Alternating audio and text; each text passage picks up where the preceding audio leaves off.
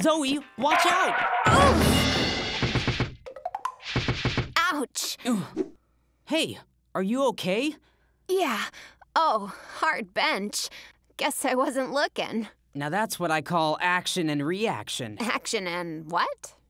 Action and reaction. It's Newton's third law of motion. Uh, what? You know Isaac Newton, the gravity guy? He realized that for every action, there is an equal and opposite reaction. Like, if I run into you, you run into me at the same time? Pretty much, but there's more to it.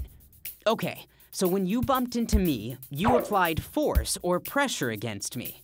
Yeah, sorry about that. According to Newton's law, my body pressed back against you with the same force. Come on. We both felt the same force because the forces from our bodies pressed in opposite directions. Yeah, but if we hit with the same force, how come only I got knocked down? Good question, champ. It's all a question of mass. How much matter is in something? First of all, who has greater mass, you or me? Is that a trick question? You, obviously. Well, according to Newton, when two objects with different mass collide, they'll accelerate at different rates, Accelerate? change their speed and direction. So, even though their forces are the same, one will accelerate more than the other? You got it. The object with smaller mass will accelerate more. Smaller? That would be me. So I fell, and you didn't. Hey, come to think of it, the same thing happened with you and my soccer ball. You hit each other with the same force, but the soccer ball went flying. I got it now. Because my mass was bigger, the ball accelerated more.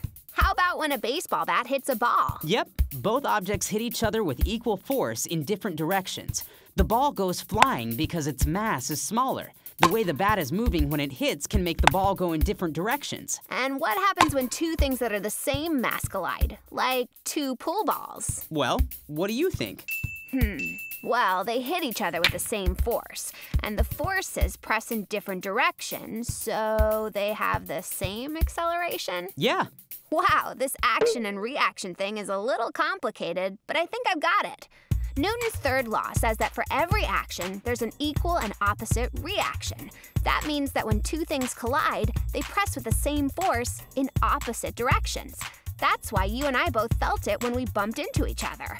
And when the objects have different mass, like we do, they'll also have different acceleration. The object with smaller mass, in this case me, will speed up or accelerate more. and she scores.